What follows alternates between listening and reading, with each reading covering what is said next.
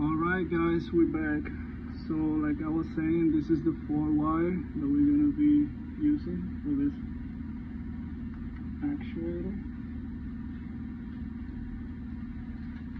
Which is right here. This is the way it's going to be mounted.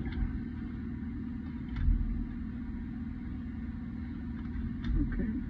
Of course we're going to start with the wiring process.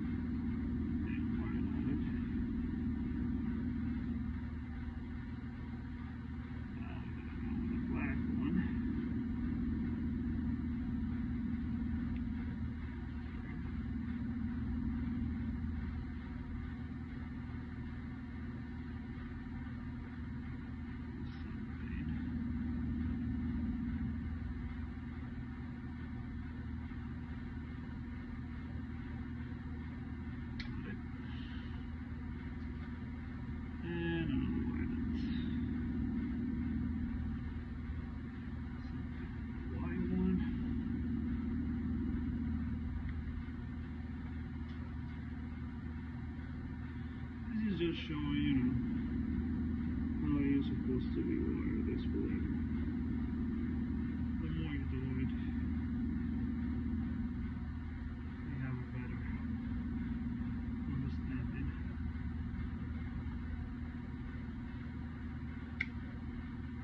And,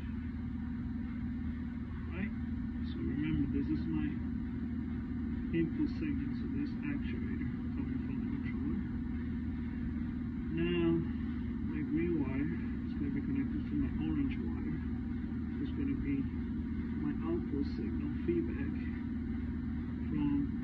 actuator is going to my controller and it's going to be an input to my DDC controller.